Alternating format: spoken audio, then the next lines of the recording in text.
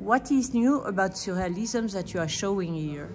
Uh, we make a proposal which is to show surrealism not only as a factory of masterpieces, but also a philosophical, ethical, political, sociological project.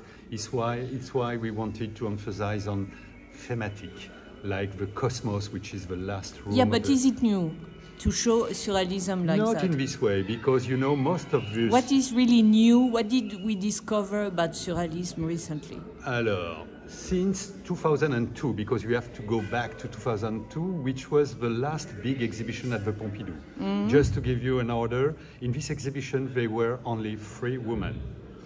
This exhibition ended in 1945. This exhibition was mostly European artists. And this one is global in a way because we have some artists coming from Japan, from South America. Uh, there is, as you have seen, quite many many women in the show. Yes. And um, and there is a thematic thematic organization of the show, which is to emphasize not on the whole history of art with a linear progress and so on, but rather a poetic universe, which is what the surrealists used to do in their own exhibition. Uh, we have some sketches by Breton when he was planning different exhibition when he was alive, and each time it was with thematic entry. One was devoted to Mel- Melusine, the other to Rimbaud, the other to. We were inspired by this idea of uh, a thematic show. And the surrealists were kind of uh, uh, fe- feminist. It was from the very beginning, really. Um, you know, the very first um, heroine of surrealism as a woman was Musidora, and it was just after the First World War. This woman was the woman, the, the ideal of a surrealist woman at that time, before the foundation of surrealist itself. It was in, in the very beginning of the 20s, and this woman was particular in this way. She was the daughter of one of the very first feminist militant in France, and her father was a, a Spanish anarchist. And when she became famous in France, one of the most famous actresses, uh, she was explaining uh, what is the freedom for a woman. And it was what the surrealists wanted to emphasize. It's why later on in 28, Breton and Aragon decided to write a piece for her to play as, a, as an actress. And uh, the surrealist artists, like Dora Maar, for example, were they treated as equal as men? Absolutely, they were in the in the exhibition as well. Uh, you know, if the woman artist uh, was not that visible for years, it was not the fact of the surrealists themselves. They were part of the exhibition. They were part of the magazine. But the art historian of the time, the collectors, the curators, when they existed at the time, forget the woman. It's not the surrealists who, who, who put them aside. Uh, what about Breton? Do, did we discover some new things about Breton?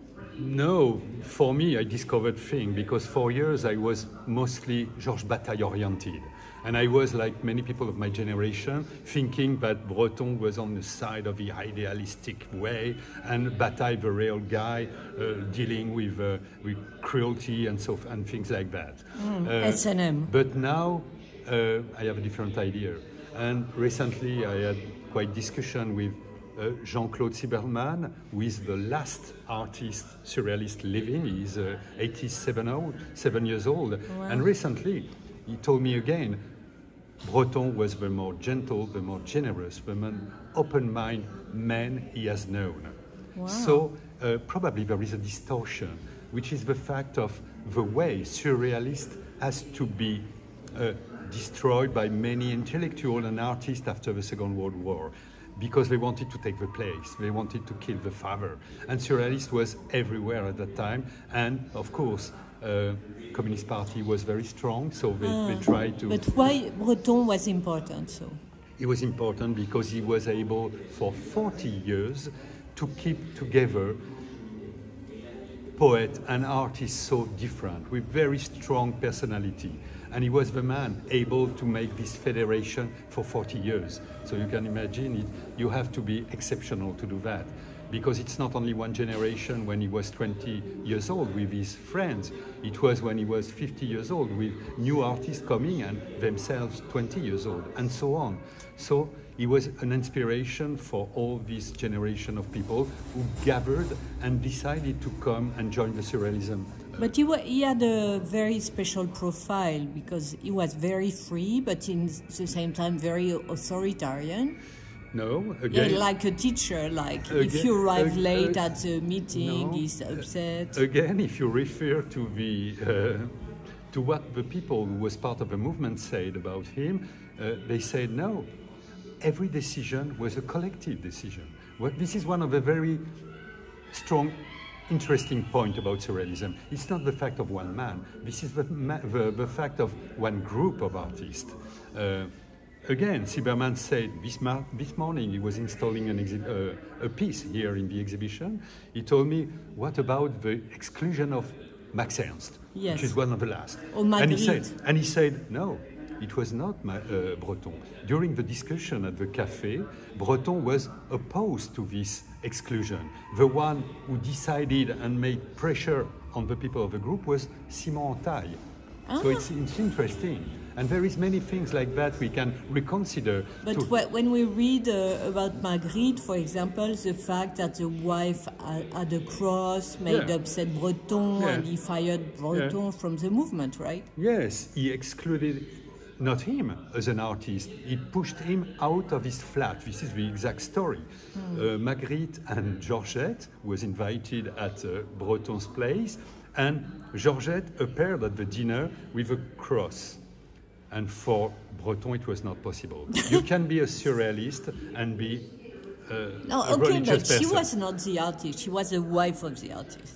Yes, he said, Mrs., could you put that off, please?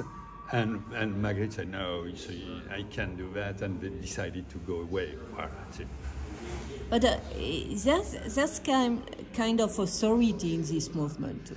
No, there is some principle. There is a not so many, but for instance, if you want to be a surrealist, you don't have to deal with the art market in an obs- obs- But, but you Breton have- did with, uh, with uh, tribal art. Yes, he did. Yes. Yes, he did. Yes, he did.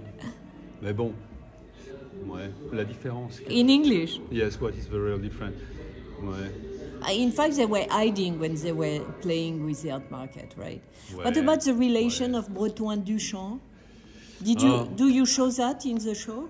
No, but Duchamp is present in, with some objects, of course, erotic object in the section devoted to Eros.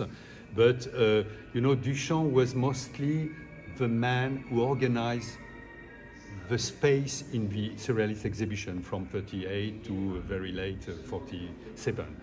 And later on, with Eros, he was still there. So he was all the man who decided the shape and the organization, the light and everything for the exhibition. Uh, and Breton, for Breton, it was a kind of devotion. Probably he was in, in kind of love mood with, with, with Marcel Duchamp. Uh, he was the man he respected. When uh, Duchamp appeared in one meeting with the different surrealists, the people who witnesses this, this encounter used to say Breton was listening at, uh, at Duchamp like if it was uh, a voice coming from the heaven. Uh, and there is this very great devotion toward Duchamp eh, from, from Breton. Yeah. And there are several manifests du surrealism, right? There is two and a half, let's say. There is the founding manifesto, Manifeste du Surrealisme, 1924. There is a second manifest of surrealism in 1929. And there is what Breton expected to publish as a third manifesto, but it was never published. C'est le prolégomène un troisième manifeste ou pas. Uh, and this text was published during the exile in the, during the Second World War in the US. And if we take some distance and think about surrealism and the importance of surrealism, how is it important in general for 20th century surrealism? For us now, you mean? Yes, Yeah, but not only for people from the art, in yeah, general, yeah, I mean. yeah, yeah. But I think one of the one of the most important um, dimension of surrealism, what we can see now, is what were their thought about the place of man in the cosmos, for instance. It's why they were looking for uh, other tradition coming from Papouasie, Nouvelles-Hébrides, and so on. And there is something which can be explained by the last film you see in the exhibition, which is a film written by Benjamin Péret. It was a film quite unknown from 54. And in fact, when I look at it, it appears to me as a, an answer to a very famous text of the time, which is uh, Le Musée Imaginaire by André Malraux. Uh, André Malraux is celebrating Europe and the value of Europe. Every dimension, every art produced on earth seems for him to be inspired by the Greek and Roman tradition. And here you have uh, people like uh, uh, Benjamin Péret who say no. It's much more interesting to see what the Hopi Indians did, did, what was made in Papouasie, and so on.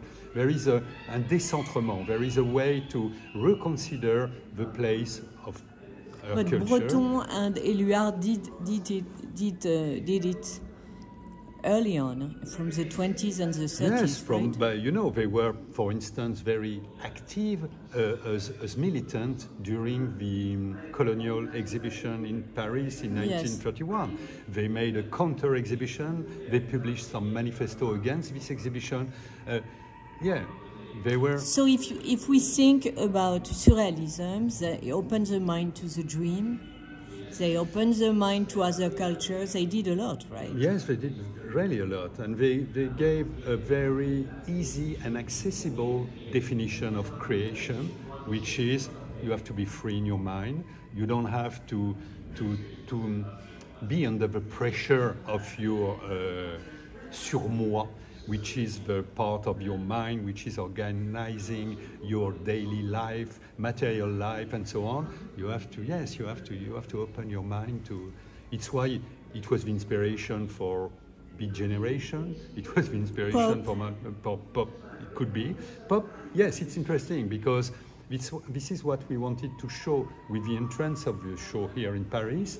Uh, this is a reconstitution of a cabaret entrance, and the idea was to demonstrate in a way, not in an explain sophisticated way, but just showing yes, surrealism is connected with um, public entertainment. Yes, it's connected to uh, popular culture.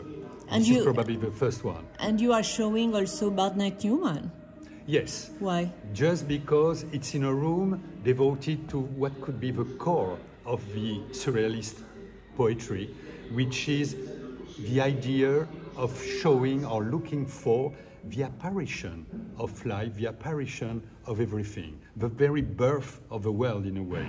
And this idea is seminal in all the surrealist history. Uh, probably Yves Tanguy is one of the painters But who Barnett showed that. Newman. Yes, during the exile in the, of the surrealists in the US during the Second World War, they transmitted several very important values to the new generation of painter in the US. One of them was this idea of a genetic moment. This is exactly the title of Barnett Newman painting, as you have seen. And the other one was the idea of a mythology.